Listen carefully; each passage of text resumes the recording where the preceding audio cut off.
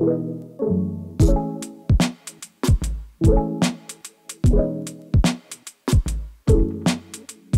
everyone. Welcome to TOC Talks. I'm your host, Andrew Kistner, uh, for the Oxford Center Talks.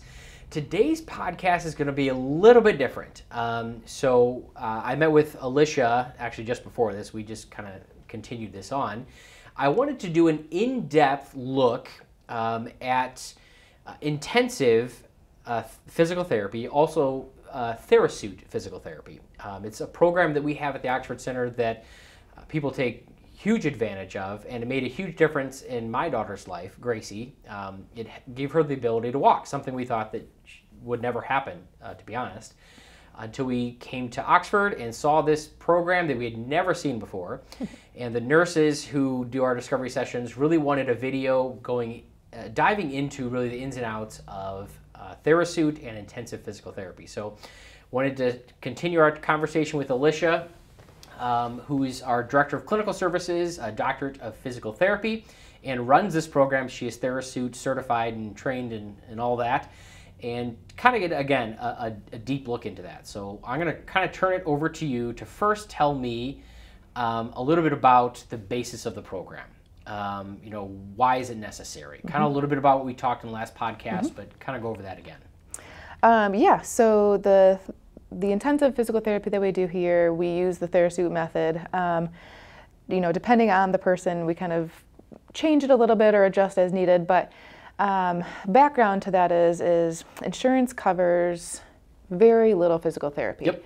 Um, for all of our kiddos, for all of our adults that have these motor dysfunctions, motor challenges, can't live their day-to-day life, they're given 30 visits a year. They're right. given 60 visits a year. Yep it is such a disservice um, to those that need the help. Right. Um, so if you are only given 30 visits a year, you don't use them all at once. No. because if something happens later in the year or, you know, your injury is, eh, you know, you're just going to live with it for a little while because you only get 30. Yep. Um, so the one time a week or two times a week for 45 minutes to an hour, don't do what you need them to do. Right. Um, they're just not enough. Right. So by the time you get started into a 45 minute session, you get started into an hour session, you're pretty much ending your session. Like you're just getting started, you're just getting your momentum going, you're just getting used to the flow, and then your session's over. Three days later, you get to come back and start over again. Right. Um, you see a lot of the roller coaster ride where you have good benefit from that one hour, but then it, the carryover falls really quickly, and then you get to start over again It takes much longer to do therapy that way just because you don't have that consistency, you don't have the repetition, you don't have that intensive service. Um, and I said a little bit in the last one, you know, no athlete, no person who's trying to adjust their mechanics to get to that next skill level set ever works out one time a week for 45 minutes. Right. You don't hear it, you know. You don't train for a marathon that way. You don't train to swim laps that way. You don't train to do any. You don't learn to play basketball that way. You don't learn soccer that way. Like it just, it doesn't work. Um, so the, the whole premise of this intensive physical therapy or the TheraSuit method is to get that intensity, to get that repetition, to get to those milestones that we need to get to by giving the, the person, the kid, the adult, the time they need to do it. Right. Um, a high level athlete, a high level anyone, they will train for multiple hours a day, every single day, to make sure that they are getting the carryover, they're getting the benefit, they're getting that repetition that they need to get those neuroplastic, neuroplasticity and the brain mapping to right. make the actual changes, to make their muscles stronger, to get to that next level. Yeah. Um, so we kind of took that whole idea, that whole intensive training idea. I know I said a little bit on the last one, but kids, kids are meant to move. Yeah. Um, they want to move. They want to engage. So three hours sounds like a long time, but for a young adult or a kid or someone who just wants to get better, three hours goes by so fast in it these does. sessions. We did four rounds of it, yes. and every time we're like, wow, that, that just blew by. Even blew every by. day would blow by. Yes. Uh, it, it really is not, it's not that bad. It no. not at all. And so three hours a day, five days a week, four to six weeks, sometimes eight weeks is very short time actually. Um, those three hours go by fast, those five days a week go fast, and before you know it, your entire intensive is over and you're like, whoa, where'd it go? Right. Um, and you know that first week is a little bit more challenging like you said sure. with gracie you know the body has to get used to that higher level energy it has to get used to you know, producing all of that mechanisms inside, you know, all of the changes that happen within that first week. Because we do a lot of strengthening in that first week. We do a lot of addressing of reflexes that are integrated right. We'll get into a little bit more of that in a little bit. But that first week, it's a lot. Um, it is. But then we take all of that that we learned in the first week and we start to build function. So it just goes by so fast. Yep, um, absolutely. And, and it, it is really the, cool. The neat thing is when we would, because we were from Toledo, mm-hmm. so we would uh, do eight weeks here, and mm-hmm. then we'd go back home to her therapist, physical therapist in Toledo. Just her mind was blown every yes. time. Um, I remember the first round that we did. After we were done, we had to buy new pants mm-hmm. for Gracie because she had gained so much muscle in yep. her legs from three hours a day, five days a week for eight weeks. Yep. Uh, but that amazing. muscle that through normal development would have developed by just being active throughout right. the day. Yep. Yeah. But she couldn't do those things. But she couldn't do them. We had to get them. Um, yep. And we had to incorporate the therapy to help her to get to that next level. Um, and so, you know, we talked a little bit about the cerebral palsy diagnosis. This intensive method was developed primarily for those with a cerebral palsy. Um, the TheraSuit was designed for yeah. that diagnosis in particular. We kind of take it and use it for all sorts of diagnoses now, but the main premise of that intensive therapy, that TheraSuit therapy, was for cerebral palsy. Awesome. So I know uh, one question I have, and then we'll get into the TheraSuit because a lot of people haven't seen that. I had mm-hmm. never seen it. Yeah. Didn't know it existed, much less the intensive side of it. But does is everyone um, do they ha- is intensive therapy suit therapy or vice versa, or are those kind of two different things incorporated together? How does that work? Tell me about the relation. Um, so it's two separate things. Okay. So we incorporate for those that are appropriate. So there are a lot of um, a lot of things that we got to check first before I can put someone into the TheraSuit. So there's okay. some things that would not allow you to use the TheraSuit, but you can definitely still do an intensive. Got it. Um, so the TheraSuit is a, a piece of the intensive session. Okay. Just like using the UEU, the Universal Exercise Unit, that is a piece of the intensive session. Um, so the whole three hours is not spent in the TheraSuit. Okay. Every single day, for some, we get in the suit. We don't get in the suit every single day for others. So the suit is a component of the intensive. Perfect. So some people, um, depending on the condition or what their goals are and trying to accomplish, they may just do intensive without TheraSuit. Yep. Um, but if you're going to do TheraSuit, you're in intensive. You're in an intensive. Because you can't set up a TheraSuit without doing an intensive therapy. Yeah, by the time we would get the suit on, right. we would have maybe five minutes in yes. it and have to get back out of it. Those are always the funnest times, though. I've got photos mm-hmm. of Grace, you know, getting put in her suit and standing on her therapist's head. Uh, like one foot just standing on her head because uh, mm-hmm. she's doing the legs and he, it, it's it is intensive just getting in the suit. Yep. Um, I bet most therapists sweat just yes. putting a suit on. Mm-hmm. All right, so let's dive in a little bit to the suit. I know you brought a suit here and kind of some of the components that we use. Mm-hmm. Again, this video is really for those interested in wanting more information on TheraSuit, yep. uh, specifically uh, in intensive physical therapy. So let's get into it. Show us the suit and how kind of it works and functions. Yeah. So like I said, you know, the intensive itself, the TheraSuit is just a component of it. Right. So we have to prepare the body in order to get into the TheraSuit okay. first. Um, so if you have that severe spasticity, you have either the hypotonia, some of those other comorbidities with your diagnosis, we have to prepare you to have the best outcome in the suit possible. Okay. So if you have the spasticity, we really need to start with like the warm up. So we use hot packs, we use stretching, we use gentle motion. We start in the UEU working on single muscle group strengthening. Um, okay. So we really start um, outside of the suit first, so that way you have the best success once you get into the suit. That makes perfect um, sense. Yeah. Just like uh, do, warming up. Right. You know, it's a, whatever yes. you're going to do. Yep. You don't just you don't just your, go. Your, um, your shoes on and, and, run a marathon. Because the TheraSuit is a workout. Just standing in, one. in the th- in the suit is a workout. Yes. Um, so the body really needs to be ready to tolerate that workout. Okay. Um, How long is that? Like an hour or? Yeah, and it depends. Okay. Um, everything that I'm going to talk about is a it depends side right. of it, which is why it takes someone who can clinically process through all of this in order to Got do it. it the right way. Um, because every case is different. Every case needs to be adjusted very particularly to that to that patient okay. in order for them to get the best outcomes. Makes sense. So it's general principles, and then we kind of modify and tweak as needed okay. in order to to have a good session. Um, so yeah, so we use all of the tools. Um, so we start a lot with the stretching, the mobilization, getting the joints loosened up. You know, if you have those contractures, you have scoliosis, the suit's not going to be great. Um, there's certain characteristics that you, you can't even get into the suit, so we got to address those first. Um, you know, a lot of times we ask for hip x-rays just because if the hips aren't stable, we Ah. don't want to put all this external force on them. Right. Um, that's not good. No. just not good. Um, so we really start a lot on the core. The core Okay. is the core is our biggest piece to coordination. It's our biggest piece to balance.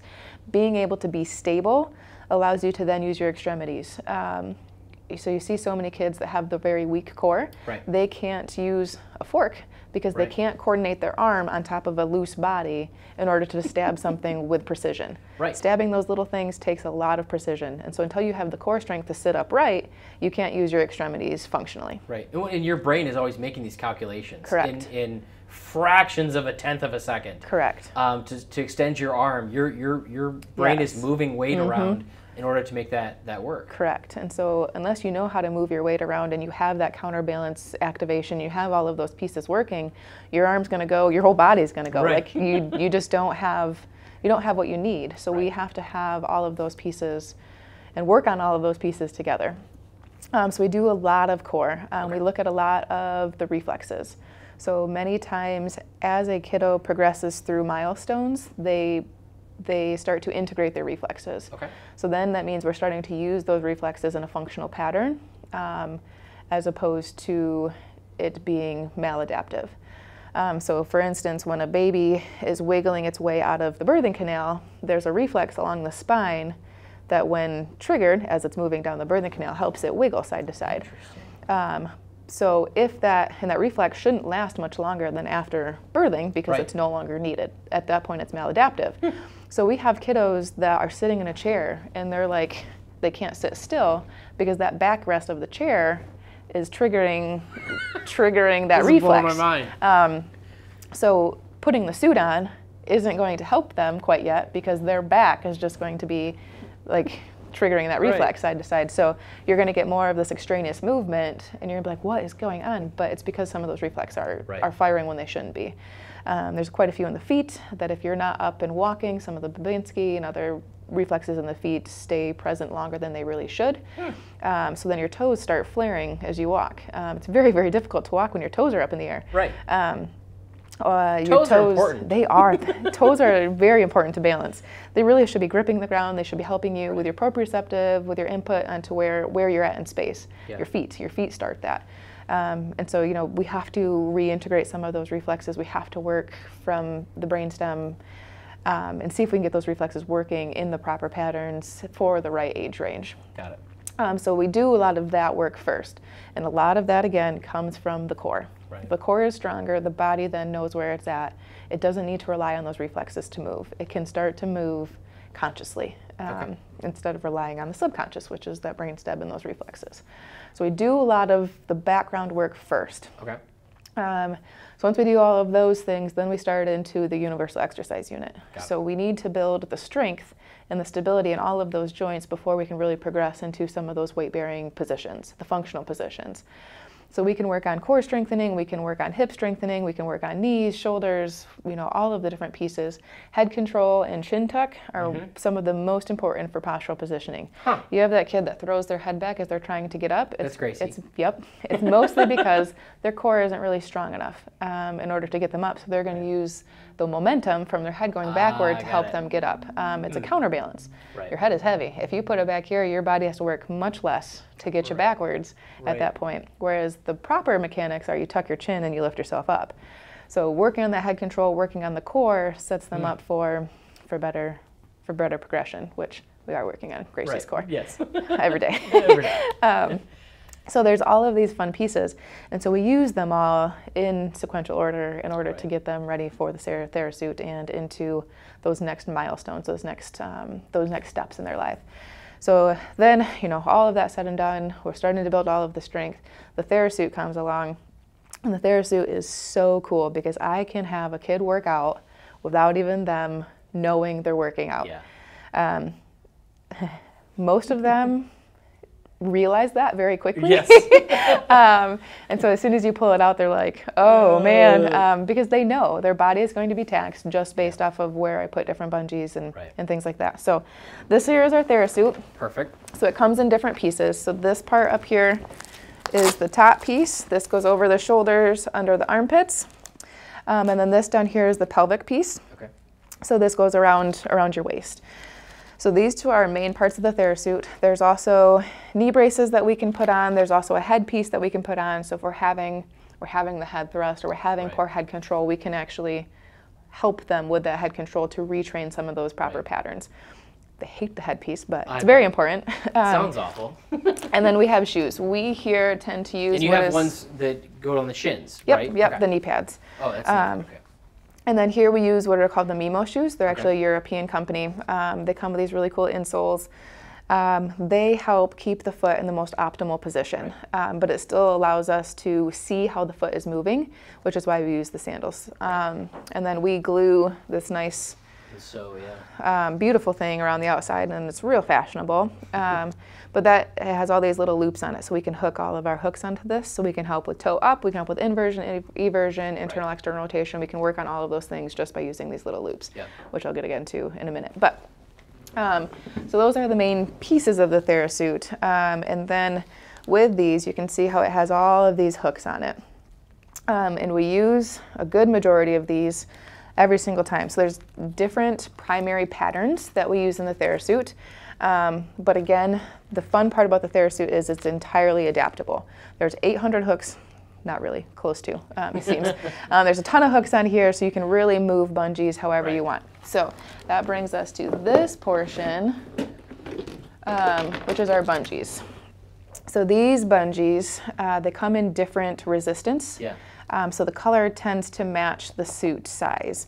Um, and the suits come in small, medium, large, extra large, so we can fit a whole range of body I was size. In one. I yes. was in one to do a little photo shoot. I Yep. it was with Lee, and I was sweating like a pig Yes. getting in and out of that suit. It's a lot of work. It's a lot of work.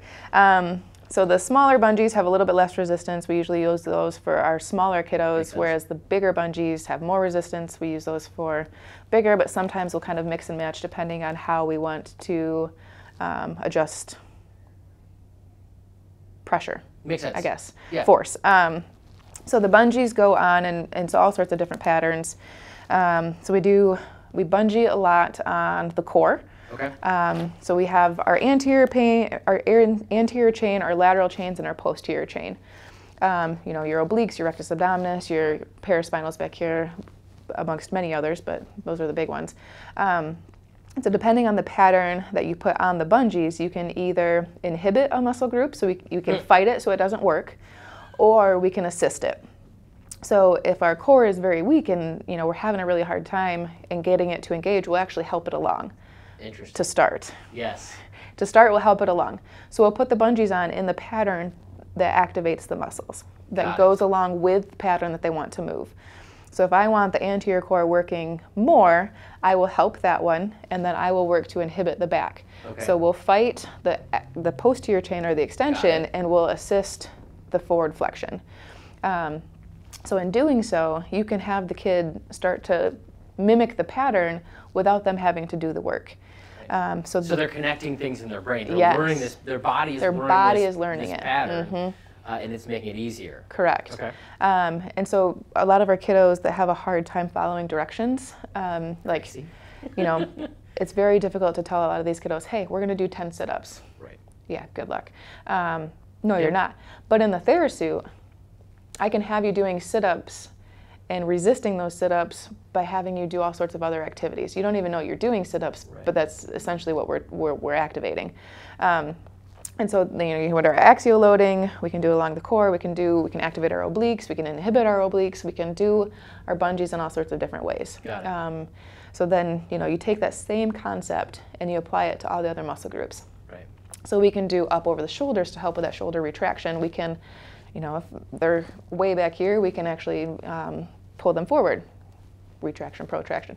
Right. Um, or our hips, we can work on a pelvic stabilization. So we can really tighten down that pelvic girdle, which gives them a firm base and much more input. And so that's a big Yeah. piece of it too. Is this provides the external input into their Oh, body. okay, that so they sense. can now feel their body a bit Right. more because they have all of this pressure Right. directing their attention to different pieces. Yeah. Um, so that's how we tend to set up the main part of it in the body is the core and the hips. So we really, really hit those ones hard. Um, and then you take, um, if we're progressing into like the gait patterns, then we'll put on our knee pads and we'll put on our shoes. And in doing so, now we can do the exact same principle to our quads, to our hamstrings, to our tibialis anterior.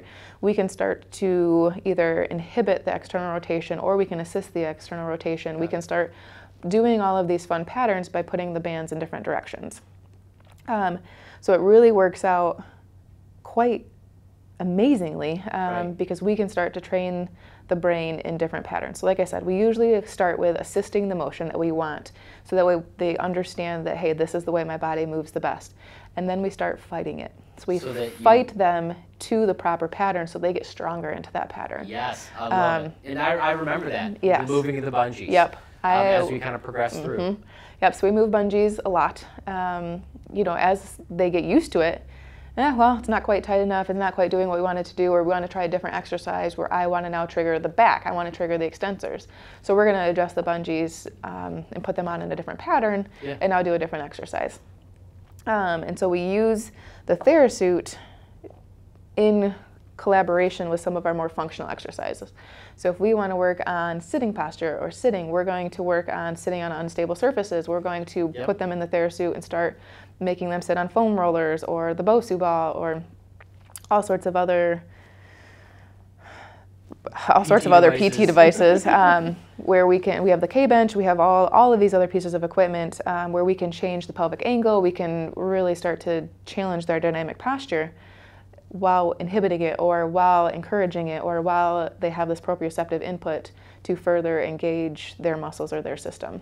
I love it. Um, so yeah, so then we, you know, we start each intensive is really dedicated to pretty much one or two functional milestones. Got it. Um, you really can't work on more at a time because the body needs to needs to learn one or two with as much power as it can right. so that way it builds the foundation. Right. And I feel people that are a good candidate for TheraSuit are in a journey. Yes. Um, and know, it is a journey. It's it's whether it's a traumatic brain injury, spinal cord injury, CP, or whatever, they're in a journey. Mm-hmm. And this is part of that journey. Part of that you journey. have to take this you have to use the TheraSuit in that journey. Mm-hmm. So you're not going to correct all the issues in one day. No.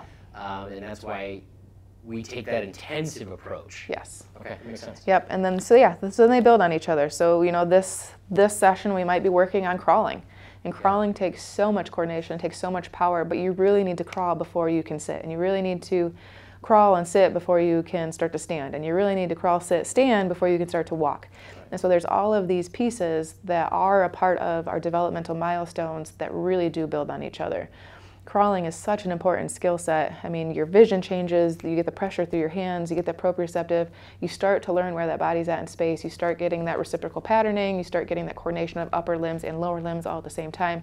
Crawling is so important. For all those people who want to skip crawling, don't. It's very important yeah. um, and a developmental milestone. Um, but you need to be able to do all of these things in a sequential order. You can't just come in and be like, you know, your big goal might be, yeah, I want them to walk, but it might be that we need to work on this one first and then this one and then this one and then, you know, we will get to it. So let me ask you this, you're talking about the how important the different milestones are. Have you ever had to take somebody back to really solidify and cover a milestone? Yes. Really? What oh, is yes. that like? Um, and, and, um, like how far back have you gone? Um, it's hard. Um, it's not fun. The kid the kid knows they can do the next step, so they don't right. really want to go backwards right. um, to work on to work on the first one. But it goes back to all of that reflex integration. Um, I mean, even in the palms of our hands, we have multiple reflexes um, that help give us our body's position in space. Yeah. So when we crawl, we realize that our body is this far away from the ground. We start to gather right. that information on where where our hand is at in relation to the rest of our body. It's a very important reflex to have. A lot of times you'll see kiddos running around hitting things a lot, and it's because they don't know where their hands are at in relation to their body, so they huh. get that input by hitting things a lot. So it, it gives them a better sense of their relation to their environment. So that crawling is very, very important. That hand, that pressure on their hands. We have a couple kiddos here right now that we are working on that, yeah. that hand reflex. Um, and so taking a kiddo that is ambulatory and then forcing them onto their hands, they don't like it No. because they skipped it for a reason, and it's because they don't like it. Um, and so we have a lot right now that we are actually working on getting that pressure, getting that weight bearing, getting that upper extremity strength through extended pressure weight bearing. Um, so yes, we actually do see that a lot. We do we do take them back because without getting that input and without stabilizing that shoulder complex, you lose the function of those upper extremities. It's hard to write, it's hard to eat, it's hard to do all of those things Right. when you can't stabilize um, those more proximal joints. Awesome. Yeah, That's crazy. yeah. Um, anything else to add about the TheraSuit? Um, no, uh, just you know, keeping in mind that it is it is a journey. It is. Um, it takes most times multiple rounds Yep. in order to get to the outcomes that you wanted in the first place. Um, you know, it takes patience, it takes dedication, it takes determination um, from everyone, and it takes a support system. It does. Um, it's not a quick and easy Nope. round um, or multiple rounds. Um, and it, it does seem slow at first, and then you know those you start to see it, and it starts to click, and Yep. it starts to make sense. Um, it I've is- Mm-hmm. talked to those patients. Uh, I've talked to mom when mom said, I was a little worried at week Uh-huh. three, and Alicia is telling me, nope, we're going to get it done. It's going to work. I'm telling you it's going to work. And then week four, it comes out walking. yes, Like, I love that. yep. Um, and so yes, but it takes all of those foundational skills first, and that's where we have to start. So no, we're not working on walking right away, but we are working on walking right Absolutely. away. Right. Um, so it is a slower process, but it is intensive. It, it does get, it does make the difference. It does really give them a very good outcome. We really can use it for so many diagnoses between traumatic brain injury, cerebral palsy, um, spinal cord injury. We have used it um, Yeah. On so many different types of patients. You know, we have to make sure that you're you're appropriate to be in this. Um, and if you're not really appropriate for the suit, we can still do the intensive. We can Right. still do this entire other side of the therapy. Give give that strong dedication to those three hours a day, five days a week, and really make a successful impact. And then um, last thing I, kind of wanted to talk about, which we touched a little bit in our CP episode, is the cost of intensive physical therapy. Um, when we were paying for therapy, you know, I was uh, self-employed, so we had a kind of our own crappy insurance, and we were pretty much private paying for all of our therapy. So 45 minutes or an hour uh, Yep. a week, and we were paying. I don't remember how much it was, but I remember doing the, the numbers back when, and it's really not that much more expensive to do intensive physical therapy Right. than what we were paying. It's just all up front, you know. Um, and then the other thing that was a big benefit to us, uh, and can be for a lot of people, is Oxford Kids Foundation. Correct. Um, we paid, you know, between travel, therapy, food, everything, because we were relocating up here from Toledo.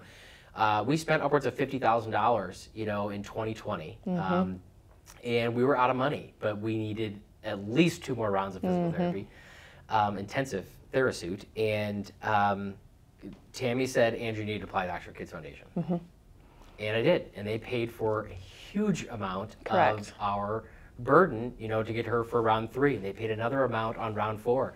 Uh, and, you know, she's walking today because not only of the Oxford Center, but Oxford Kids Foundation. Yes, So, we are entirely blessed to have the Oxford's Kids Foundation supporting supporting our kids' therapies here. Um, you know, we have so many donors from the community who Yep. are.